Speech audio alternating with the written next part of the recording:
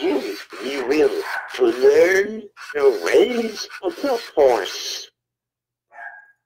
That's I thought he wasn't. Yeah, I thought he wasn't. He's, he could hold that. He, Got hit again. The Jedi uses the force for knowledge and defense, never for attack. Whoa. It's not like this. I do not. calm down. Calm Okay. down. You're going to be fine. Okay. Hi. Hello. I just What's want to give a, a shout out to my shirt. Post traumatic growth, not stress. Okay. I was at the Mm. gym. I've got, I've still got my gym action happening. I went to a Zumba class. And we want to come on and talk today about, again, just, I was so excited. This.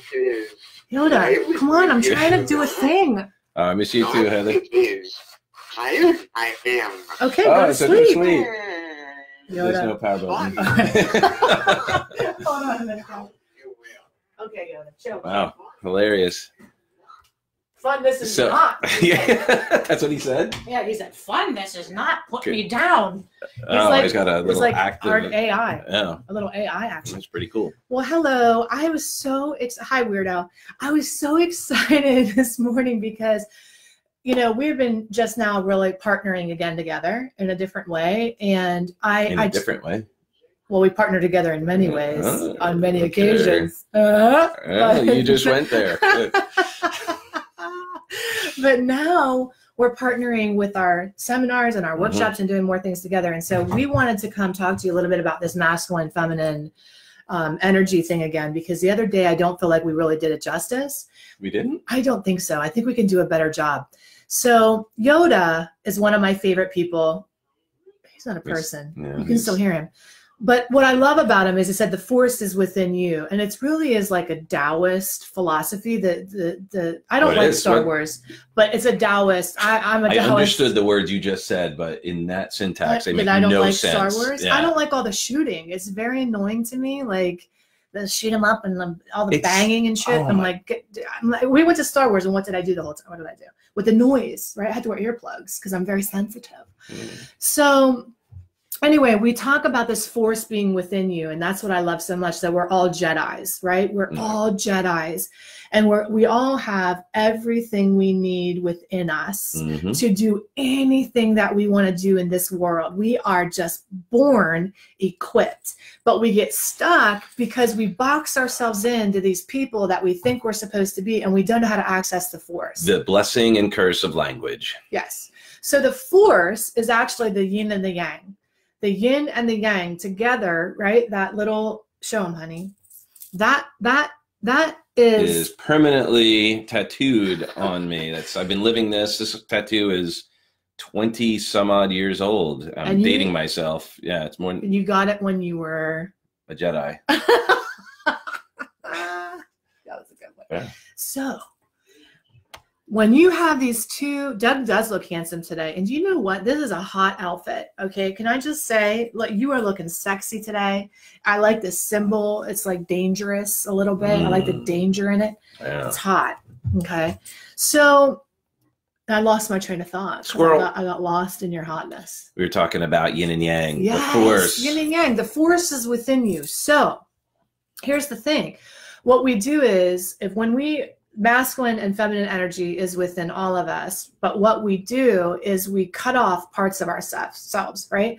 Like we know that we're a holistic being, mind, body, spirit. We also know that within our brain, we're left brain, right brain. And what's so interesting is like it just the squirrel hit me as far as like now all these different talks of like genders everything we're like eh, trying to add more labels instead of just being okay and wide with those labels and understanding them sorry just it made It's me okay.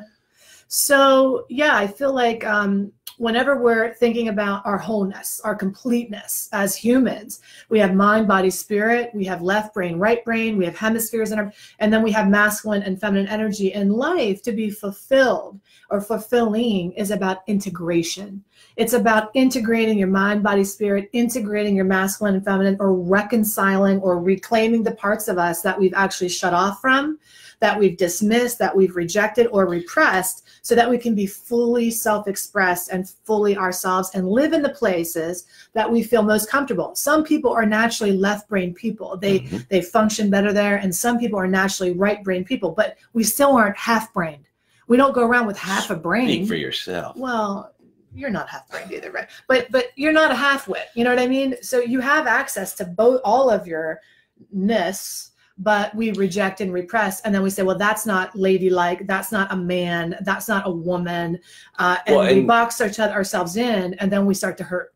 Well, and and that's where a lot of In the work we do is, is being work. strategic and knowing when to access those parts. And you know, there's that balance of appreciating where we're at and noticing is this natural or is this adaptive? Are we doing this because we were told we were supposed to, or because this is the natural the natural response? And then that's where the discord occurs because then we're not being authentic. We're trying to be something because we were told we're supposed to be, or the other thing that happens is it worked in the past and maybe at the time it was appropriate but not I got Sorry, really distracted by Justin's comment. Sexy Jedi danger. you're you're a Jedi, Justin. yeah You are. you are. Well, i gotta say It's look at all these definitely- amazing people on I here know. they're all jedis I know. Everybody's a Jedi. we're all we attract the force So we do because the and force you all attract is attracting. So I want to go over with you. Uh, we want to go over with you this masculine and feminine energy, so that you can understand these two. Like they're not. They're they're they're like night and day. They mutually arise, but they're opposing kind of forces that ma- that attract that, each other and that need each other they need each other in order to be able to be fulfilled so le- the feminine energy we want to think of like water. So if i think about water what do i picture water to be like? Are you asking what you think? No what do you think? Oh you ask what i think. Oh i was kind of asking. Oh, that, that's a woman for you so what am i thinking Tell me what I'm thinking.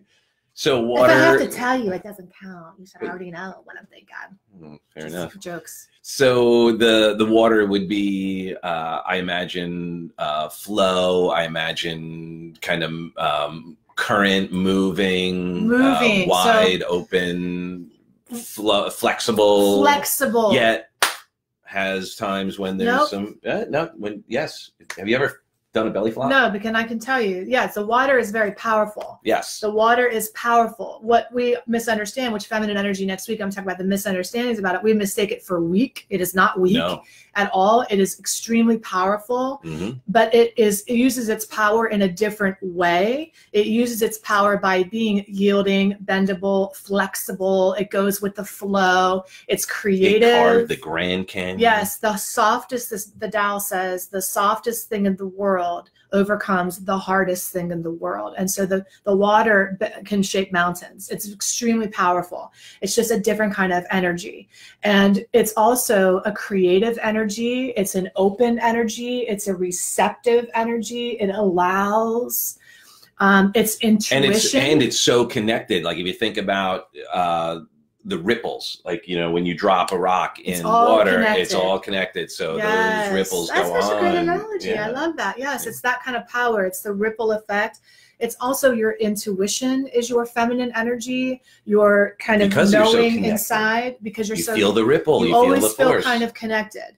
It it is also your feelings. And so the feminine energy is you would think about your right brain. Actually, the feminine is the left side, but the right brain is where the feminine energy would, would be in, right? It's it's more emotional, it's feeling, it's all interconnected, it's flowing, it's receptive, it's yielding. And so when then when we think about so that's the water. When we think about the masculine energy, we think about the fire. Okay. And when we think about the fire, it's it's direct, it's assertive, it's um It's dominant, it's forceful. aggressive, it's forceful. and it actually just made me think of um uh, a wave Rigid. pool like a wave pool it Mhm, requires the the force mhm, to then create the waves that go on mhm, mhm. and you create that huge amount of force Ooh, sometimes you need the force to create the waves, honey. yeah sometimes see? you need the force to create the waves. Yes. Ooh, I like that. I like that analogy. It's logical. It's thinking. So that would be the left side of the brain, but the right side and the yin and the yang. So the yang energy is the logical, the facts, It, it wants to um, it's also it- it's analytical it's competitive Mhm. this is collaborative the feminine is collaborative the masculine is dominant and competitive And that's yeah. Well, I guess we'll get deeper into the importance of both and how important they are to be successful in any area of Well, life. That's what Yeah. we're doing. So when we're partnering together, our whole philosophy is uh, integration. It's knowing where you primarily live or what situation calls for what. I can tell you next week we're going to be talking about um, how we get one of the most wounded. Well, they're both wounded. There's the wounded feminine and the wounded masculine. But I can tell you that my fe- I lived in my masculine. I know looking at me now, you would be like, oh wow. But femininity, feminine energy is not about how long your hair is or how how much gloss you got on your lips or how much cleavage you're showing. That's not feminine feminine energy. Okay.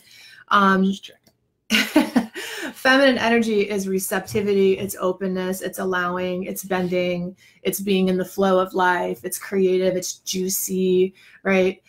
But I lived in my masculine for a long time because I had a very wounded feminine. It got shut down in me, turned off in me because that was slutty, that was dirty. Don't embrace your curves, your hips, your womanness, your femininity. Don't embrace that softness, the subtleness. I grew up very hard uh, in a very um, toxic and turbulent situation. Because that was your survival strategy. and my survival still was skill was to go into my masculine energy and to live in that. Just get it done, power through, suck it up. Masculine energy. Suck it up, power through, charge on. I want you to picture the difference between the warrior energy and the goddess energy.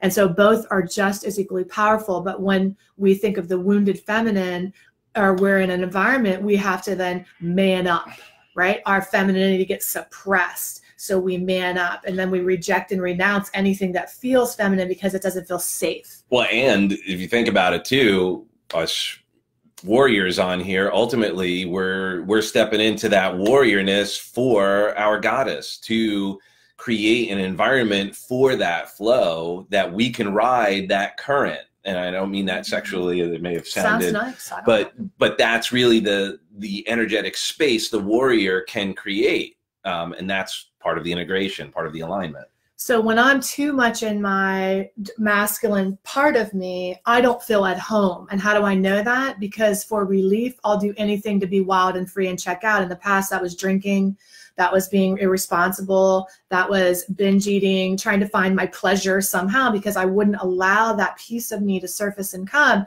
You know, the, the feminine energy lives in the five senses.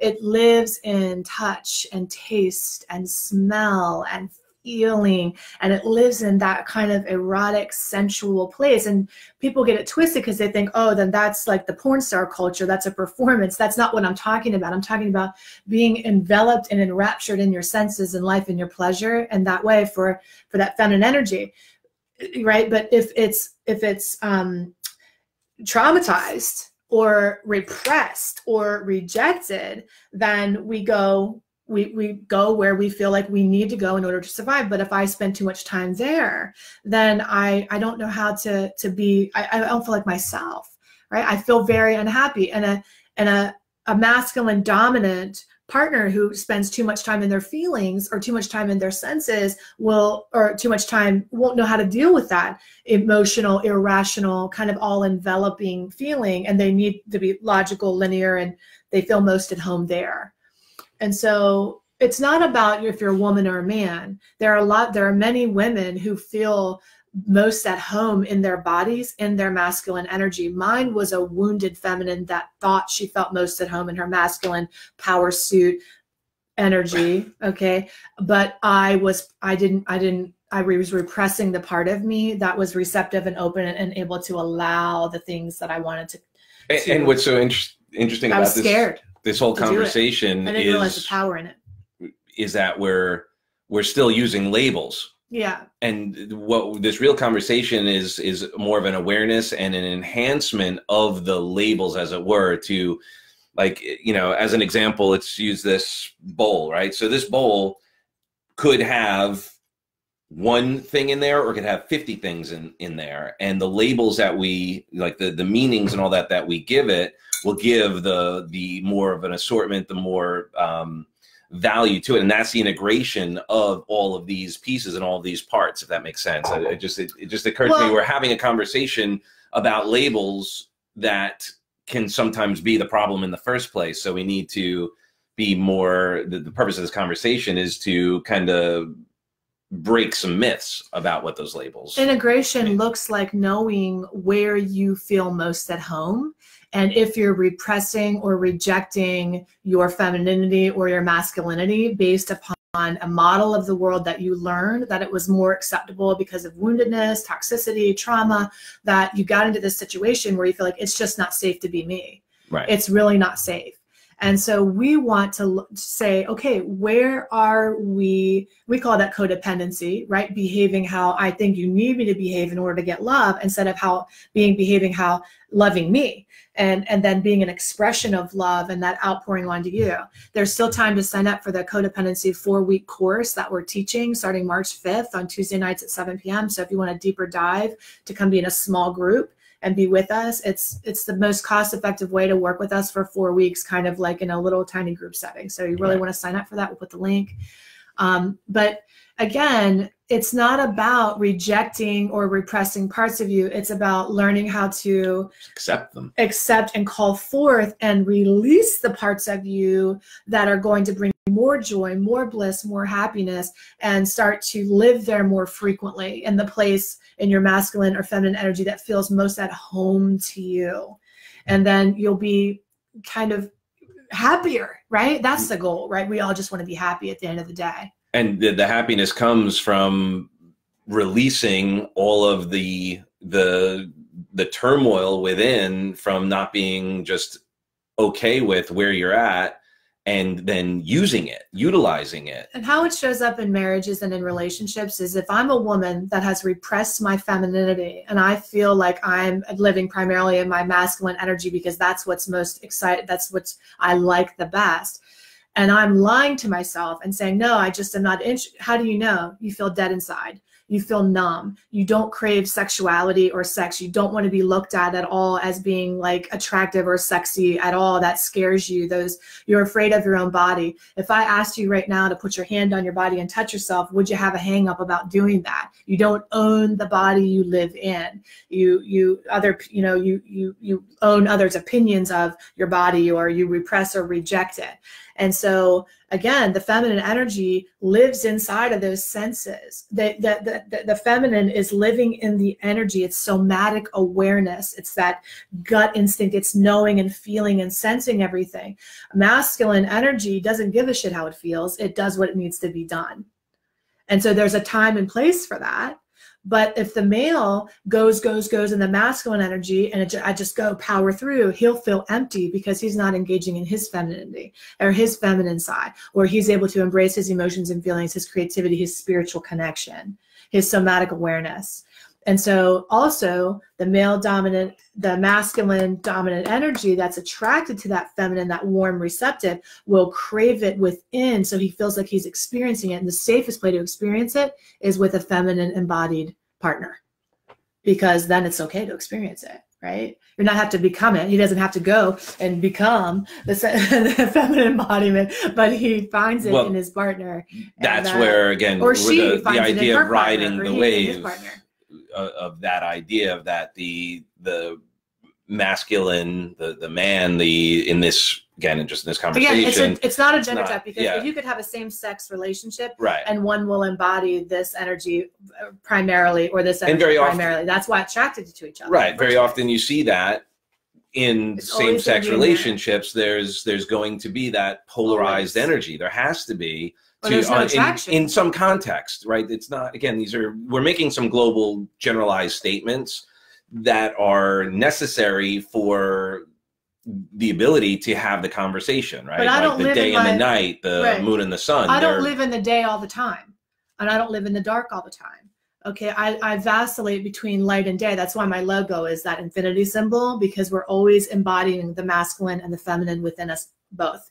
And and there's a time even in my in our business where what does this call for? The fire or the rain? The fire or the water? What do I need to bring today in order to make the best of this situation or to to to be the happiest in this moment? there are times when it definitely calls for the fire, honey. You're going to burn it down, right? And Just there's the times is, when it is are calls you for, burning both out powerful. Are you burning out because you're burning it down all the time?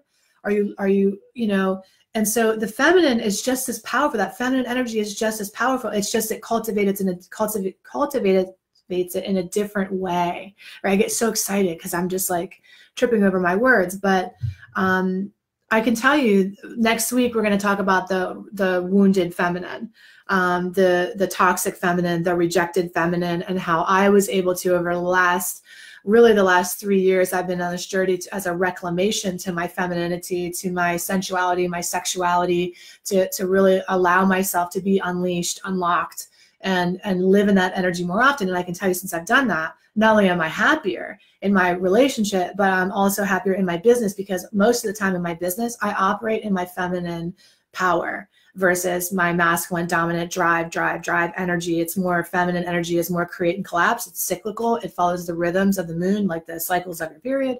It like you're creating and collapsing instead of constantly pursuing, pushing, and going.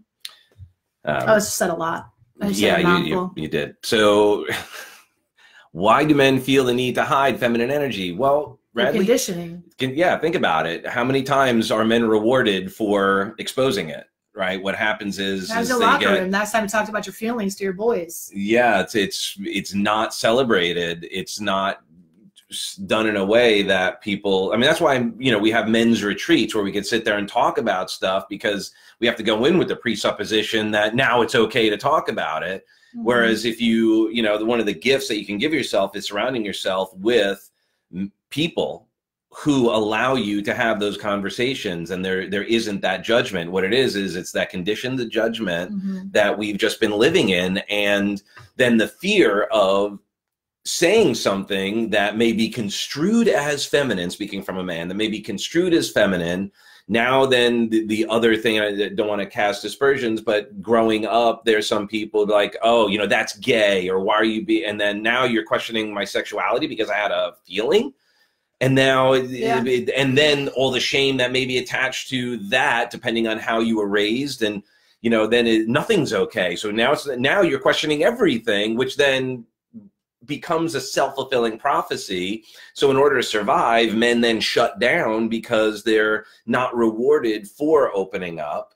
And then they just end up surrounding themselves with people who do the same and now we end up having a, a cycle that we're doing our best to to shatter. And when i met you um, you were the first man i'd ever met in my life that embodied the integration of all of your energy of the masculine and feminine energy embodied in a way that was um, you're sensitive you're soft you're yielding you're flexible you're flowing you're creative, you're passionate, all those juices are unlocked in you, right? Um, the creativity, all those things, that feminine energy is unlocked and unleashed.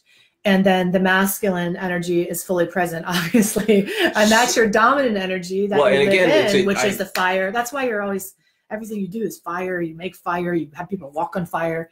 That's eat why fire. you have people eat fire because you're the fire. I used fire in our presentation the you other night. The you're the yeah, fire guy, right? Yeah. Because you bring the fire. Um, but thank God you also um, allow yourself to be in that space where you can share and be creative and be in the spirit and connected. Well, what's so interesting is in in so many respects, I guess one of the best ways to to address it is it's then becomes a, just a question of presence. Mm-hmm. Where it's not, it's not a judgment. I'm not, mm-hmm. and, and by the way, just I'm not sitting like when I'm in those moments. It's not like I'm sitting like, oh, uh, I'm, I'm, I'm, gonna be feminine right now. Yes, what would be the best way? Like yeah. I'm, I'm not doing that. Yeah. I'm just being present right. in the moment. And I guess the way again using that analogy, I love the analogy of of a of the current, right? The create the wave and then ride the wave. And a and the divine feminine and the divine masculine is really like a mother father, a divine mother and a divine father. And within that relationship, we're always protecting, nurturing, caring for each other in this constant ebb and flow of energies. And sometimes if there are, we can both, we both have feelings. We both have fire and we both have water, right? We both have that in us. Obviously, I need to know when to bring the water when he's in the fire and when to bring the fire when he's in the water. And so th- there are times that that's, you know, and that's it's a probably a better way to just and maybe that's the best way to think of it Mhm. is like fire water rather than masculine feminine Fire because there's so much energy Fire attached to Right. emotions attached Right. to is that feminine well It's water. yeah it's water right Water's powerful. Black like and white, Said, it'll yeah. knock you over, man. It'll Yeah. get, get in the current. Okay, honey? Is that but feminine is powerful. But you know why? We've pigeonholed the femininity to mean weak. And it is more and, and, and that energy, in my opinion, I feel more powerful when I'm in fully embodying my feminine energy. I try because I'm happiest there to live in that feminine energy most of the time. That's where I feel that personally the most powerful. Um, I I feel the most divine download, the most connected, the most on fire, on on most on fire when I'm living over here, right? So I feel most depleted and lost and tired and exhausted when I'm in the fire all the time. It just doesn't work for me. You really have to know yourself, and part of this process is getting to know yourself, right? Where you're living and and and not judging it just Right. accepting it like Accepting it. okay cool that's where i'm that's at where I'm at. where do i want to go where do i want to be what do i want to celebrate right we celebrate what works and then add what's missing Right. um, and yeah to radley's point yeah so uh, young women, especially sometimes flee, Flee. from the nice guy and then they complain about men being jerks. I think it goes back to our hardwired caveman tradition. Yeah. it's it's well all this is conditioning Well, This whole- women love a nice guy, okay? What they don't love is a doormat. Okay, because there's no fire in a doormat, right? So a woman a woman wants here's here's I think what a lot of the time what you're talking about with the nice guy, here's this phenomenon. And I heard it explained by a client the other day who had who broke up with somebody because what happened was he a woman wants to be um not necessarily the the center of your world but but like the one of the most important things in your world well, right it's important, most to have person in my world. most important person but not the most important thing necessarily i love i get charged up and fired up when i when he's in his full um passion his purpose. He's he's really you know um, out there doing what he loves to do putting his energy out there. If he sacrificed necessarily his purpose of his bigger message so he could wonder how i'm feeling and be i would not be attracted to that. And sometimes nice guys are misconstrued and misunderstood. You're really being codependent. You're not being nice. And so if you are having that problem radley sign up for my for our codependence course that's coming up because you could be thinking you're nice, but you're really one of my eight personality patterns. I call them attachment personality patterns and codependence. You're being the fixer, or you're being the people pleaser, and you're bending too much. And so I want to help you. There's a fine line. How do you figure out what's authentically you and what are you doing because you feel like you have to do that in order to get love? All of those patterns. And uh, everything that's whatever thoughts you're having everybody who watches this right now these are just the filters that we're running based on the conditioning that we've experienced over the the last however old you are the decisions that we made at young ages right? Depending on who your caregiver what was your feedback? Did you survive because you had to man up or did you survive because you had to shut down? Were you a like i grew up a bit of a, a people pleaser myself because i wanted to make sure that everything went well you know i wanted no wanted no, nothing too crazy make sure that people were happy and enjoying themselves. But that can be exhausting because and as a people pleaser who doesn't get pleased? And you're not in your power when you're a people no. pleaser, right? at You're not in your power, your authentic power. And then a lot of the people that I work with end up saying, "Well, then I'll just I don't want to be an asshole." But I'm like, "You're you're such a sweetheart. You'll never be an You can't asshole. be an you asshole. can't, no matter how hard you go." But there is a line, a line, because men in that position of the people pleaser and the nice guy are afraid of their masculine energy. They've repressed it because they feel like it's too dominant. They had a figure in their life nine times out of ten where the man that was representing that masculine was scary or that they learned that that masculine hurts women because it was a wounded masculine and so they've repressed the piece of them that's assertive and dominant because they don't want to scare people off or intimidate people And then well, I can use my example. The way I did it growing up was I would, uh, I was the getting in, you know, arrested, getting, you know, just breaking, breaking stuff, right? Like whether it be stuff, like literally stuff that I'd be able to dominate and break and show my manhood. because you couldn't dominate your own life so you Right. hole in a wall right, yeah. I I've shared it many times. The the house I grew up in, every I believe every wall in that house had been repaired or replaced at some point. Yeah, not right. Happily married for 20 years, but years ago, Tony Coach explained to me that I'm 60. Sent weighted to my femme and my wife, 63 masculine. It Works well. Great. You know, I was just telling Doug this today. I was saying that um, some marriages are are perfectly aligned because they are have worked it out that way where the the woman pri- one partner i say woman and man one partner primarily lives in their masculine and one primarily lives in their feminine and they're comfortable in that. How do you know it's broken and not working? You're on the brink of breaking up with each other. You keep attracting the wrong people over and over again. You have a sexless relationship where And you're finding yourself in outside relationships you're that fill the seeking gap. outside. You're flirting around. You're doing whatever. You're you avoid sex you you wanted to get it over with uh, sex is the first place that this issue is of codependence or this challenge is going to show up and it, that's a really good barometer some people just think I, I have women that in my practice that say i just don't like sex that's a lie all right that's a lie we tell ourselves to make it okay that we've repressed our own sensuality It's a survival mechanism. it's a survival mechanism. Well, I just don't like it. No, honey, you don't know how to tap into your own pleasure because you're cut off from that story we will tell. Right, exactly. So we just wanted to pop on quickly. Hopefully this was helpful for you today. Thank you so much that people were saying somebody, I think, is it Mary or Mari said that she heard me speak Mari, the other yeah. night. Thank you so much. I really appreciate that. That was really fun for me. Um, so join us and for the upcoming codependency workshop if that's something for you. If not, we'll see you next Tuesday. And if this was helpful, uh, you know, feel free Share to it. share it. Yeah, for for others, and um, also feel free to send us any questions, any things that you want us to cover, because this is um, this is our our passion, our pleasure, our privilege to have this opportunity. So we we love you for that. let's Thank be you. fully integrated human beings that really is the revolution you know Yep. we call our company revolutionary growth how do you grow you integrate Integrate. It's all You the parts come alive. you integrate um, all right we love you so much we hope you have a beautiful day today we'll see you next tuesday right on. See you soon. Bye.